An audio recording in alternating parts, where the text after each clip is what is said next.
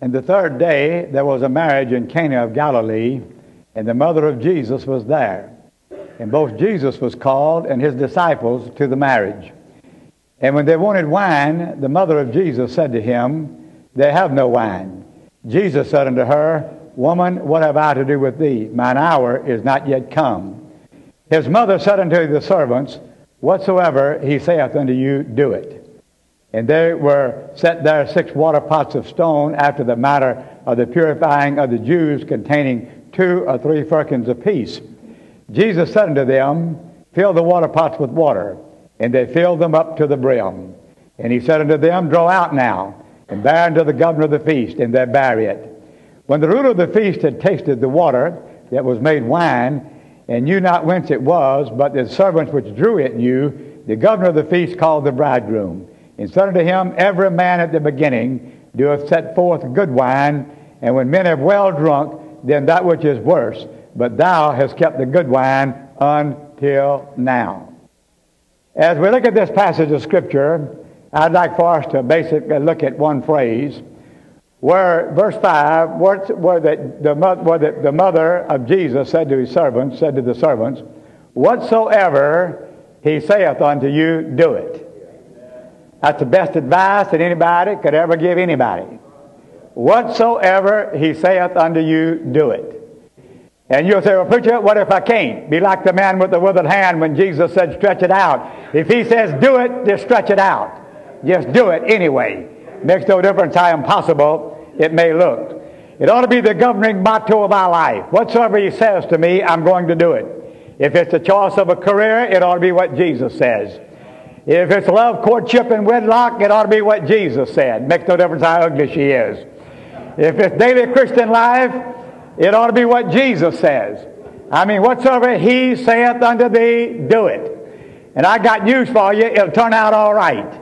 May not look like it, may not feel like it, you may not think it will, but it will. If Jesus said it, it'll work, folk. I guarantee you. I've had folk give me a lot of advice that didn't work. But Jesus has never given me any that didn't work. Thank God for it. Everything He says works. We notice three features of this motherly advice, and I'm going to give you a little outline, and I'm going to preach. First of all, we notice the entirety of the obedience. Notice what she said. Whatsoever He saith unto thee, do it. Our obedience is to be entire, complete. You know, a lot of times we want partial obedience. If we agree with it, we'll do it. If we don't agree with it, we won't do it. Or we'll do part of it and feel like, well, you know, God ought to be excited about the fact that we've done part of what He said do. But no, He said, whatsoever He saith, do it. Now, a lot of you are half there. A lot of times I'm half there. Part of what He said. But Mary said to the servants, whatsoever He saith unto thee, do it. And the next thing, it was to be exclusive. What he says. Not what others say, not what others think. I've had people through the years come to give me all kind of advice in the world. And I, I say to them, you know, if you're going to change churches every two years, you can take a lot of advice, try it. If it don't work, move on somewhere else. But if you're thinking on staying, I've been here 40 years, then you got to be careful. Because if it don't work, you got to stay long enough to straighten it out. Right or wrong. And you know, if folks give that advice, they move on. But you've got to be there and live with the advice that you follow. So we ought to exclusively know what Christ is saying to our heart and what the plan of God is for our life and the purpose of God is for our life and if it dissatisfies everybody else, what difference does it make if it pleases Jesus? And if it pleases Jesus, what difference does it make if it dissatisfies everybody else? All right. So uh, it's whatsoever he saith. And then specific. Do not just something, not something like what he said, not something equivalent to what he said, but do exactly what he says to do. Boy, that's a big difference, isn't it? You know, a lot of times God speaks to my heart and say, do this, and I, I say, God, you know, this would do just as well. You ever do that? I mean, this would simplify the thing. What you're talking about, it's a complicated thing. Let's just do it this way. No, but he says, whatsoever he saith unto you. Not something like it, not something that you'd rather do, not something that'd be equivalent to it, but whatsoever he saith unto you, do it. Then another thing about it was this. There's three features in the obedience of those servants of Christ. In verse 7, it says that they obeyed immediately. And you know, uh, that's always a key thing when God speaks to us. You know what I found out? When God speaks to me and I know that I've heard from God, if I immediately do it, it's a whole lot easier to do it than if I wait. You know why? Because human reasoning will get in. People's opinion will get in. You'll begin to look at the difficulties and the circumstances. You'll begin to wonder about what if it doesn't work. But if I just do it, I'll tell you, I've got it done before the devil has opportunity to make, to make suggestions. And that's so in all of our lives. Whatsoever he saith unto thee, do it. You know, God's been saying some things to us in this camp meeting. A lot of folks say, well, when I get home, I'm going to do it. No, you'll change your man before you ever get home. You're getting a fight on the way home, be forgot about it.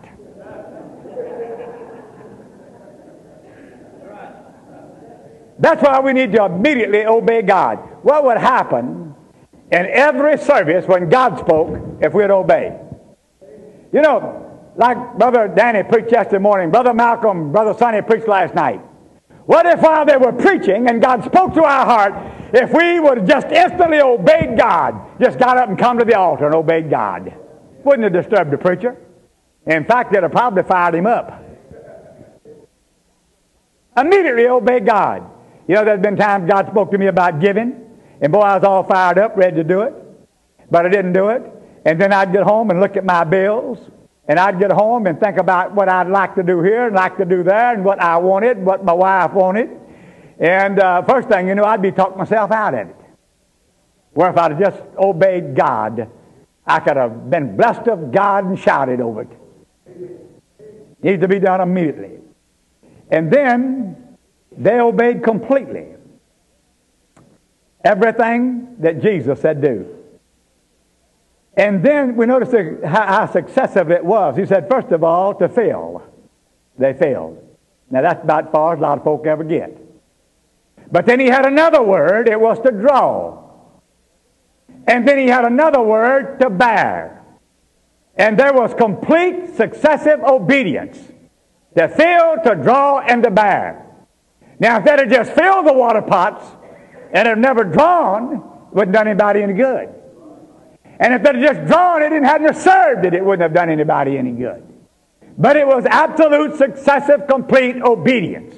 And most time when Christ calls on us to do something, it's just not one thing. It's a successive thing we're in that we begin, and I'll tell you, we have to successively obey God until we have completely done what God says do. Right or wrong. All right. Now, there were three main features of the outcome when you obey God and when they obeyed God, and always will be. Now, we all want this to happen, but we don't want it to be complete, immediate obedience in order to see God do it the way He did. And we notice this there was a supernatural intervention when they obeyed God. The water was turned into wine. Ladies and gentlemen, we all want a supernatural intervention of God in the services of God and in our life. It'll never happen until there's obedience to God. And whenever we have obeyed God, we can expect a divine supernatural intervention. We can expect something to happen from above. And that's what we need, folk, in this service and every service, is something from above for a divine manifestation of Holy God. There was a divine intervention. And then there was a wonderful transformation. The social catastrophe was given a happy ending. There was humiliation. There was embarrassment for the governor of the feast and the bridegroom. But whenever there was a divine intervention, there was a wonderful transformation. And when God shows up, He'll transform things, folk. He'll transform people. We can't change people. Glory to God, He can. I'll never forget the first church I pastored, 19 years old. And I went in that church, I was going to change everybody in it. First 30 days. That was my goal. Some of them been in the church 50 and 60 years. And it wasn't long until I realized I couldn't change anybody. That if anybody was changed, it was going to take a divine intervention of God. And if God would come down supernaturally in that church, then in that divine intervention, He would gloriously transform people into the image and likeness of Jesus Christ. So really, instead of us trying to change people, what we need to do is obey God, get right with God, and expect God to intervene and do something. And we notice something else. There was a significant revelation. Jesus manifested his glory, and his disciples believed on him. When there's a divine intervention and a wonderful transformation, Jesus is always going to be glorified in it, folks. And that's what he wants to do is to glorify himself. There could be such divine interventions and transformations and revelations and happy endings again and again and again in our life if we learn to just do what he says do and fully and completely obey God. In fact, it ought to be our lifestyle. It ought to be the testimony of our life day by day that God intervened. God transformed things. God give us a happy ending to that which looked so miserable. And I'll tell you, that which looked so embarrassing. When God got through and changed things, it was a happy ending. And God glorified himself in it. Thank God for it. Now, we notice something else where this miracle took place in a humble home in Galilee. And folk, I'm going to tell you something. What don't work at home is not real. Right or wrong. We need to get God in our homes. And that's where this miracle took place. It brought God right into the home circle where the wedding was taking place. In the ordinary things of life, you know, most of us, whenever we think about God doing something, we're thinking about a, big mountaintop experience. But God wants to get in our everyday life. That's where we need Him, folk. Is in our everyday living. Somebody said, well, the rubber hits the road. That's when we need God. While we can shout on other folks' faith in a camp meeting and other folks' experience. But we need Him in our ordinary life. Out there in the home where there's problems and troubles and burdens and bills to be paid. Maybe lost a job and need a job and the children going astray and the grandchildren all backslidden. That's where we need God. In the, in the home, in the ordinary affairs of life. And that's where God wants to meet with us. This miracle happened to save a humble Galilean family from hurt and from embarrassment. It was in sympathy and kindness and understanding for simple folk. that Jesus demonstrated his power. Glory be to God for it. A couple of things about Mary. She instinctively turned to Jesus when something went wrong. Boy, not a good thing to do? Hallelujah. Something go wrong, turn to Jesus. Even when she didn't know what he would do, and it seemed that he had refused her request, she trusted that he'd do the right thing. Glory to God, he always will. He'll do the right thing.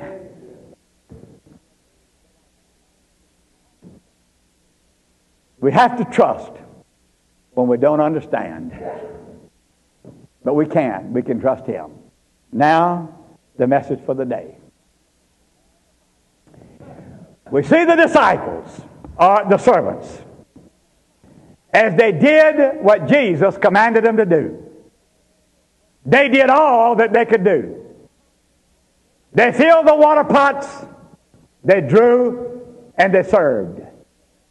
That was all that they could do. But they did all that they could do. And when they had done all that they could do, Jesus did what it was impossible for them to do. He turned the water into wine. And I'm going to take about three Bible illustrations and I'm going to convince you that that's the way God always works.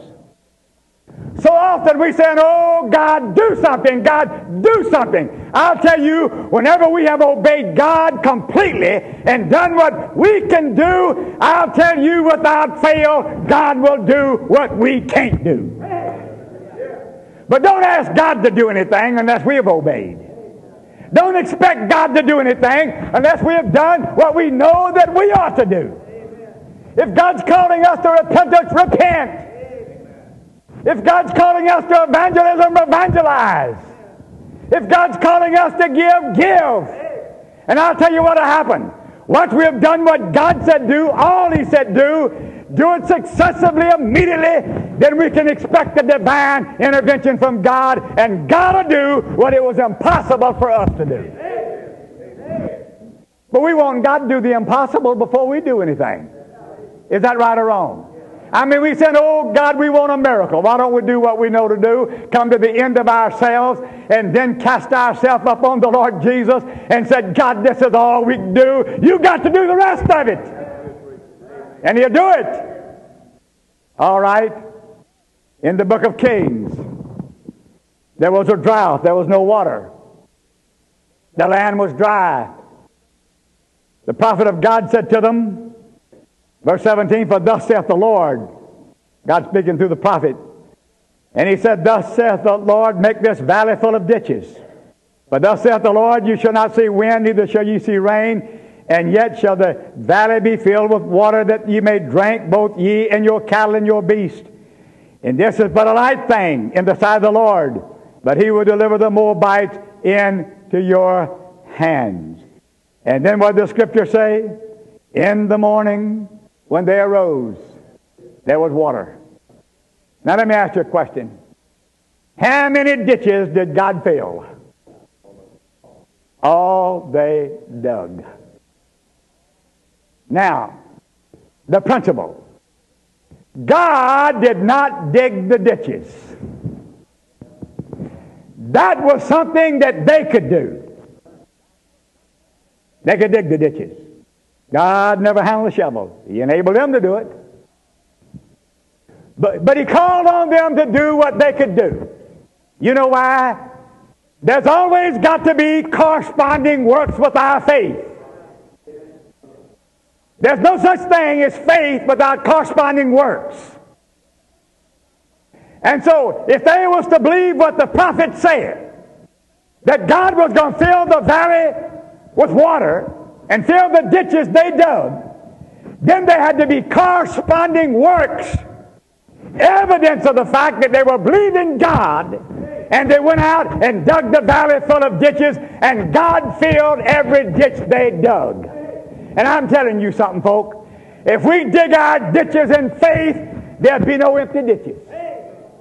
If we dig them in obedience to what God said, believing God will keep His word. They just didn't decide to go out and dig some ditches. God said dig them. It was an obedience to God. And when they dug them, I'll tell you, they dug them in faith, corresponding works. And God filled every ditch that they dug. When they'd done all that they could do, they couldn't do anything else but dig the ditches. And when they got through doing all that they could do, the valley was just as dry as it ever was. Right or wrong? But then when God honored what they did and honored their obedience, He did what they could not do. He supernaturally filled the ditches. There was a divine intervention and a wonderful transformation. That's the way it goes, folk. We want the divine intervention. We want the wonderful transformation. We want the supernatural. We want the miracles. But we won't just sit back and say, oh, God, do it. Oh, God, do it. I'll tell you what, folk. God works according to our corresponding works and our faith. And I'll tell you, in our obedience, whenever we have obeyed God and our works has lined up with the commands of God and we have done what God said do, we have every right in the world to expect the divine intervention. All right? You don't believe it yet? I'm going to give you another illustration. In the fourth chapter of the book of Kings, there was a little widow. Her husband had died. She couldn't pay her bills, and they appealed to the prophet of God. He said to her, under the, under the anointing of the Holy Ghost, the inspiration of God, he said, Go borrow the vessels abroad of all thy neighbors, even empty vessels. She said, I got one pot of oil. Jesus, and, and the prophet said, Go out and borrow some, borrow some empty vessels, borrowing out a few. And when thou art come in, thou shalt shut the door upon thee and upon thy sons, and thou shalt pour out into all those vessels, that, that, and thou shalt set aside that which is full. And she went from him and shut the door upon her and upon her sons, who brought the empty vessels, and she poured out. And it came to pass when the vessels were full, she said unto her son, Bring me yet another vessel. And he said unto her, There's not a vessel more. And they all stayed. How many vessels did God fill? All she set out. There wasn't an empty, the scripture said, glory to God, there wasn't an empty vessel. Now, notice what it was again. Same principle. Just where I can preach the same message five times. And then maybe we'll get a little of it. Here was a woman. She was without. Terrible, destitute condition. Heartbroken. Lost her husband. Now her son was going to be taken. She needed the bills to be paid. She went to the man of God. Thank God she went to the right person. And he said, Tell you, what do you have? She said, Nothing but one pot of oil. He said, That's all you need. If that's all committed to Jesus and you'll obey, you'll see a divine intervention. He said, Go out and borrow oil pots. They went out and borrowed oil pots, brought them in, and began to pour up the oil. I imagine they poured the first, looked in, the one that's pouring out of, just as full as what it was whenever they started. Poured the next one, it was just as full. Poured the next one, it was just, as. boy, don't you know that was exciting? But obeying God, wasn't that some exciting? She poured the next one. It was full and the oil pot was still full. And then I don't know how many it was. But I know one thing. She filled every one that they brought in. And there's still plenty more. Hallelujah. Now, same principle. God didn't gather up the oil pots. That was something they could do. They could carry in the oil pots. But whenever they had obeyed, see, there was corresponding works to their faith. She believed the man of God, and as a result that she believed the man of God, there was corresponding works that gathered up the oil pots. And when they gathered up the oil pots and began to pour in the oil, then there was a divine intervention because there was complete obedience. And all the oil pots was filled. Then I'll tell you, things changed in that home when they obeyed Jesus. They sold the oil. She paid, I'll tell you, the debt off to free her sons and had some left over. Glory be to God for it.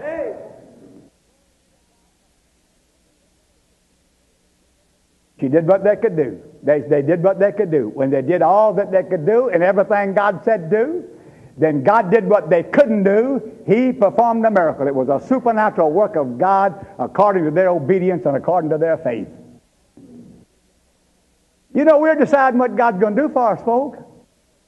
Because I believe God wants to fill the ditches with water. He said, I'll give drink to him that's thirsty and pour floods upon the dry ground. God wants to bless us. Someone said he'd rather bless us, I'll tell you, because of obedience than he had cursed us because of disobedience. One more illustration. Go with me to the grave of Lazarus. And Jesus stood at that grave. What happened? They said, Jesus said, roll away the stone. They said, by this time he stinketh. No use now, God. You're too late. Jesus had already said, if thou canst believe, you'll see the glory of God. That's always so. I'll tell you, if we believe, if we live the faith life, we can live constantly seeing God's glory, God's glory, divine intervention, divine transformation. I'll tell you, it ought to be the ordinary thing of life. And so Jesus said to them, roll away the stone. Jesus didn't touch that stone. He could have spoke to it and it would have rolled away. He could have done whatever he wanted to to pay off that woman's debt. He could have just let the folk got up next morning and the ditch has been dug and the valley been filled with water, but that's not the way God works. That's way a lot of folk act like they think he's going to work. That's why a lot of folk don't ever get much done at church. Always saying God do something, but we don't ever have corresponding works.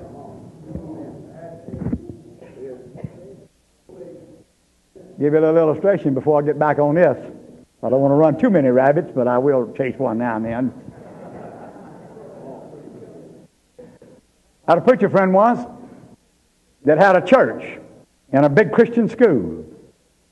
And uh, he was about to lose it. The bank was going to take it. They had done postponed the note, postponed the note, and finally came to him, called him in, said, Pastor, we don't want to do this. It's not going to be a good thing in the community and so forth. But we have a responsibility. We're going to have to foreclose on this property.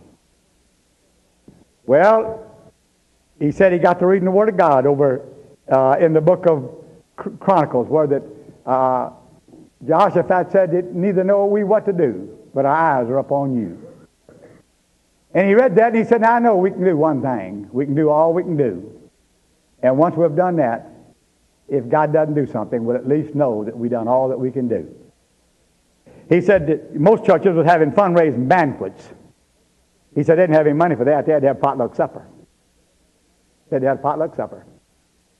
He said he got up, he read the letter from the bank, said we're going to lose these properties and this building. But he said we're going to do one thing. We're going to do all we can do before we do it. We're going to know that we've done all that we can do. And he said, then, you know, it just may be God do something. But that we've done what we can do, why pray God do something? And they owed about $20,000, and that was back in the old days back in Brother Sonny's days. and he said they talked, fellowshiped a little, and said, now we're going to take an offering. Do what we can do. All we want you to do is what you can do. If whatever you can do, you do it. But we get through, we want to be able to stand before God and say, God, we've done all that we know to do. He said they took that offering, he said he was looking maybe two or three thousand dollars. And he said they counted it. They had more than enough money to pay off the note at the bank. They paid off all the bills in the church, caught up on his salary, and had money left in the bank. Now, you know what they'd been doing? They'd been praying for months. Oh, God, do something. Oh, God, do something. God said, I'm waiting on you. Right or wrong? God said, I'm waiting on you to do something. Do all you know to do. Do all you can do. And then I'll perform a miracle and do the rest. Now, don't misunderstand me. I believe that was a miracle offering and God was in it. And I believe there's folk in that church that gave by faith. Gave out of their poverty. But yet I say that to say this. So often we're praying about things that we ought to have already done and asking God to do it. And if we do all that we know to do, all that we can do, and we have corresponding works to our faith in what we believe that God's going to do, I believe we can have divine interventions consistently in our life. Now, the grave of Lazarus, Jesus said, roll away the stone. He didn't touch that stone. But I'll tell you what he did do. When he had obeyed, he did what they could not do. No man in that cemetery could have raised Lazarus. But Jesus just stood at the grave of that tomb of that, at the front of that grave and said, Lazarus, come forth. And Lazarus got up. Now, when they had done what they could do, roll away the stone, there was a divine intervention. There was a resurrection from the dead. There was a transformation from death to life. There was a joyful ending. ending. Now, after Lazarus was resurrected, what did Jesus say to them? Loose him and let him go. Jesus didn't take the grave clothes off. They could do that. But they couldn't produce life. But they could obey God. And when they obeyed God, I'll tell you, it made the atmosphere conducive because of their obedient faith for God to intervene and do what they couldn't do. You've been waiting on God to do something? If you obeyed God in every area of your life. Do you need a miracle here or there or somewhere else? Is there corresponding works? Are you lining your life up with God so that God can honor your faith and your prayers and intervene and do what you can't do? But you've abandoned it to God so that God can do it.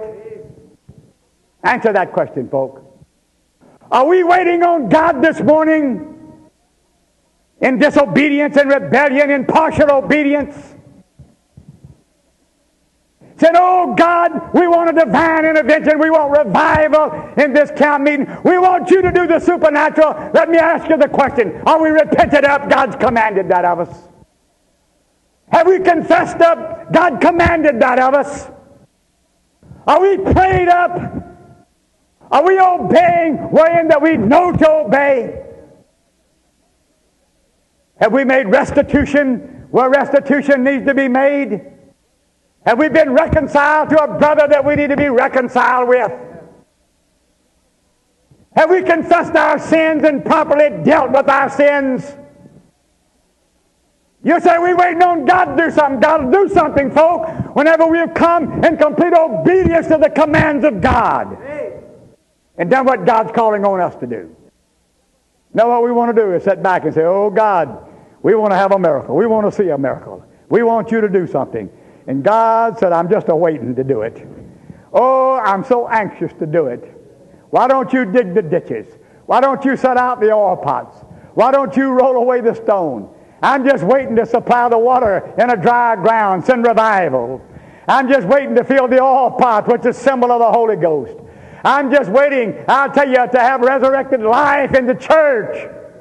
I'm just waiting. Roll away the stones. Set out the oil pots. Dig the ditches. Make preparation for the blessings of God.